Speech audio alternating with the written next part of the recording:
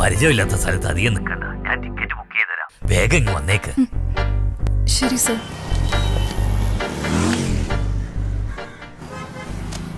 ആ അമ്മ. അമ്മോ സമാധാനമായി. നീയെങ്കിലും ഫോൺ എടുത്തല്ലോ. അവനെ വിളിച്ചിട്ട് ലൈൻ പോകുന്നേ ഇല്ല. ഇന്നലെ വരാന്ന് പറഞ്ഞതാ. അവനുണ്ടോ അടുത്ത്? ഇല്ലമ്മ ഞാനിപ്പോ പുറത്തു വന്നിരിക്കാ അമ്മ. നാല് ദിവസം കഴിഞ്ഞ കല്യാണമാ. ഇതുവരെ വീട്ടിലെത്തിയിട്ടില്ല മോനെ. അങ്ങനെ ജോലി അവനെ? മരുമോൾ ആകെ പേടിച്ചിരിക്കുക അവളെ പോലും ഇതുവരെ കിന്നേരത്തുമ്പോ ഉണ്ടോ അവന്റെ ഫോൺ ഇവിടെ കളഞ്ഞു എന്നാ പറഞ്ഞത്? ഫ്രണ്ട്സിനൊക്കെ ഇൻവിറ്റേഷൻ കൊടുക്കാൻ പോയതായിരിക്കും. കൊടുത്തു കഴിയുമ്പോൾ അവൻ തിരിച്ചെത്തുമായിരിക്കും. അമ്മ ഹലോ ഞാൻ പറയുന്നത് കേൾക്കുന്നുണ്ടോ മോനെ? ഹലോ ഹലോ മോനെ ഞാൻ പറയുന്നത് കേൾക്കുന്നുണ്ടോ? അമ്മ ഞാൻ ഹലോ ഹലോ. അമ്മ ഞാൻ തിരിച്ചു വിളിക്കാം.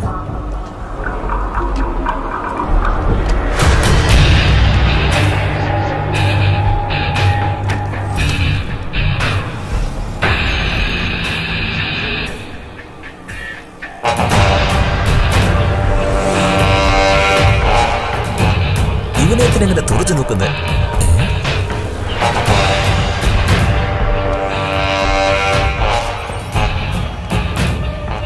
ആര് ഉമാര്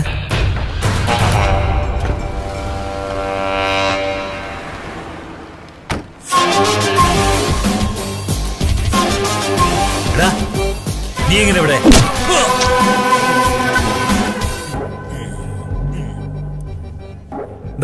ഞാൻ കട തുറന്നപ്പോ തന്നെയല്ലേ ചീഫ് ഗസ്റ്റ് വിളിച്ചത്? എന്നിട്ട് താൻ എന്നെ തന്നെ ചതിച്ചല്ലേ? ഞാൻ കട വാങ്ങിച്ചതേ ഉള്ളൂ. എന്നിട്ട് നീ എന്നെ സൈഡിൽ വെച്ച് സമ്പാദിക്കായിരുന്നു. സത്യം പറ. നീയും ആ പോലീസും തമ്മിൽ എന്താ ബന്ധം?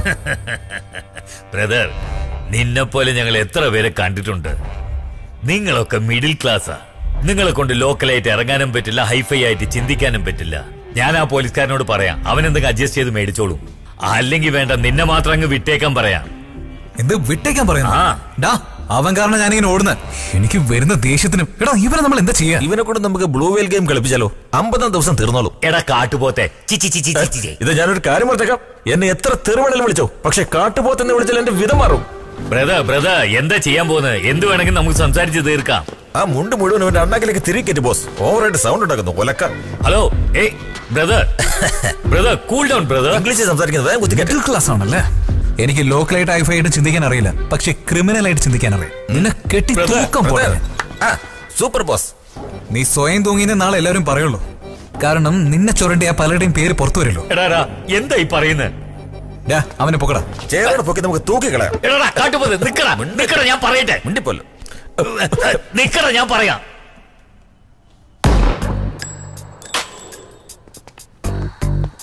ഡാ ഇവന്റെ മോന്ന് മര്യാദ കാണുന്നുണ്ടോ നോക്കിയേ. പിന്നെ ഈ മരമൊന്തി ക്ലിയർ ആയിട്ട് കണ്ട വലിയ കാര്യമല്ലേ?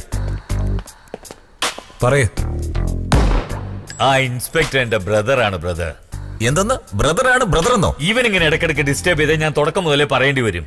ബോസേ വേല ഇറക്കല്ലേ? ഡാ ഒന്ന് മിണ്ടാരിയടാ നീ പറഞ്ഞു.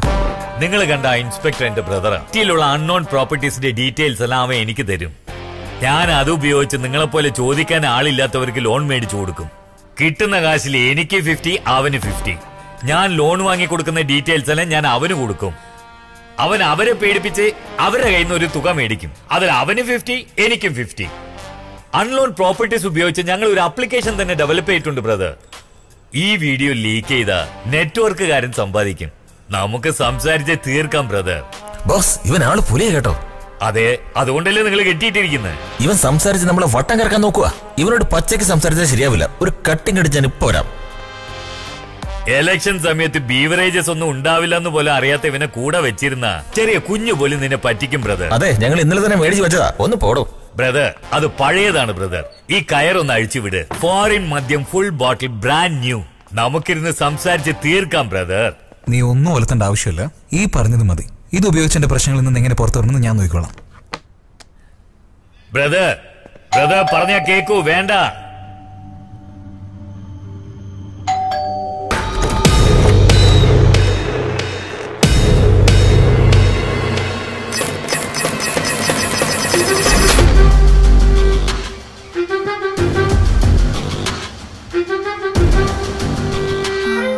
സാമുവൽ സാർ ഇവിടെ ഉണ്ടോ അദ്ദേഹം എന്നെ ഇവിടേക്ക് ഒരു നാല് മണിക്ക് വരാൻ പറഞ്ഞതാ. ഹലോ നിങ്ങൾക്ക് എന്നെ മനസ്സിലായില്ലേ? എന്താ? ഒന്നുമില്ല. ആ, സാറാണോ വരാൻ പറഞ്ഞത്? അതെ പറഞ്ഞതാ. എന്റെ സർട്ടിഫിക്കറ്റ്സ് ഒക്കെ അദ്ദേഹത്തിന്റെ കയ്യിലാ. ഓ. അദ്ദേഹം ചോദിച്ച ക്യാഷ് ഞാൻ കൊണ്ടുവന്നിട്ടുണ്ട്. എന്റെ പേര് കീർത്തി എന്നാ. പ്ലീസ് ഞാൻ വന്നിട്ടുണ്ടെന്നൊന്ന് പറയൂ. ആ ശരി. എങ്ങോട്ട് പോവില്ലേ? ഞാൻ- അദ്ദേഹത്തിന്റെ അസിസ്റ്റന്റാ എങ്ങോട്ടും പോവില്ല? ഇവിടെ തന്നെ നിൽക്കണേ. ഞാൻ പോയിട്ട് ഇപ്പൊ തന്നെ വന്നേക്കാവേ.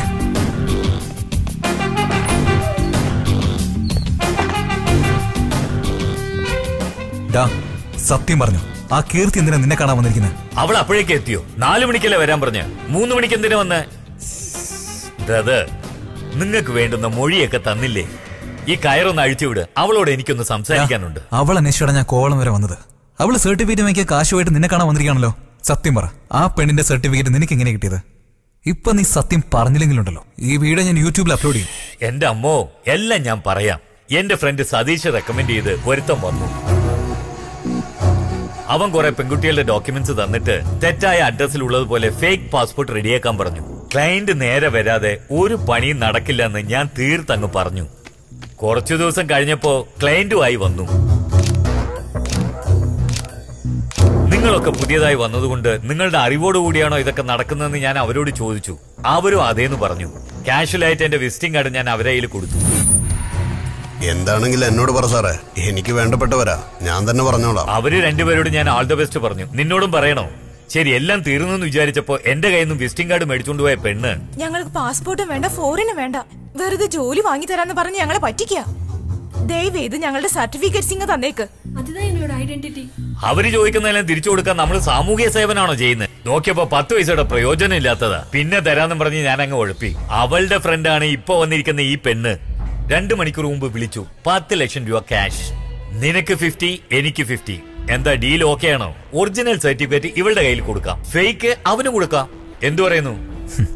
ആ പെണ്ണിന്റെ സർട്ടിഫിക്കറ്റ് എവിടെ വെച്ചിരിക്കുന്നത് എന്താ ഡോക്യുമെന്റ് കടലിൽ കൊണ്ടൊളിപ്പിക്കോ കൈ അഴിച്ചു വിട്. ഞാൻ എടുത്തോണ്ട് വന്ന് തരാം.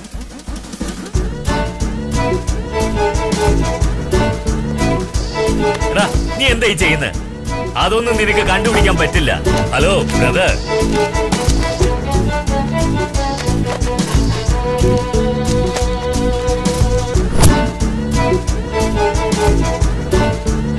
brother brother brother എല്ലാ ഉത്തരം ഞാൻ നൽകി. ആ, ഡോക്യുമെന്റ് ഒന്നും എടുക്കില്ല ബ്രദർ ബ്രദർ പറഞ്ഞ കേക്കൂ.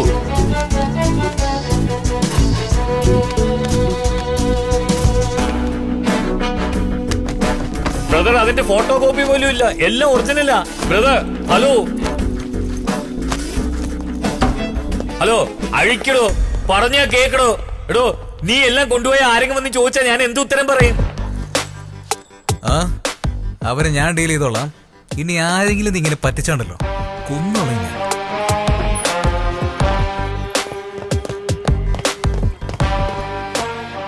ആ, പണം കൊണ്ടുവന്നിട്ടുണ്ടല്ലോ അല്ലേ? ആ കൊണ്ടുവന്നിട്ടുണ്ട് സർ. ആ, ഞാനിപ്പോഴാ സാറായിട്ട് ഫോണിൽ സംസാരിച്ചത്. സാർ ഒരു ജോലിക്കാരായിട്ട് പുറത്താണ്. നിങ്ങളുടെ ഡോക്യുമെന്റ്സ് ഒക്കെ ട്രിവാൻഡ്രത്തെ ഓഫീസിലാണ് വെച്ചിരിക്കുന്നത്. ഇപ്പൊ ഞാൻ അങ്ങോട്ടേക്കാ പോകുന്നത്. വിരോധം ഇല്ലെങ്കിൽ ഇവിടെ കൂടെ വന്നാൽ മതി. ഞാൻ എടുത്തരാം ബുദ്ധിമുട്ടാണെങ്കിൽ നിങ്ങളുടെ അഡ്രസ്സ് തന്നാൽ മതി. ഞാൻ കൊറിയറിൽ അയച്ചേക്കാം. അത് വന്നേക്കും. രണ്ടു മൂന്ന് ആഴ്ച ആകുമ്പോൾ വന്നേക്കും. സാരല്ല സർ ഞാൻ തന്നെ നേരിട്ട് വന്ന് വാങ്ങിച്ചോളാം. ഞാനും ട്രിവാൻഡ്രത്തേക്കാ പോകുന്നത് ഓ എന്നാ ശരി. വരും. ഓക്കെ.